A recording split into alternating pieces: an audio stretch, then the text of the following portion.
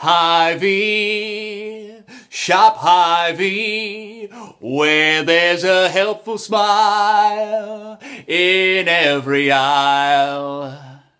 Hi, I'm Chris Hassel. I work at ESPN in Bristol, Connecticut. I'm an anchor, mostly on SportsCenter, some other shows as well. But uh, I'm from Muscatine, Iowa, as is my wife. We spent our entire lives in the state of Iowa before moving out here to Connecticut uh, a little under two years ago now. And we wanted to wish Hy-Vee a happy 50th anniversary on the great Smile in Every Aisle jingle.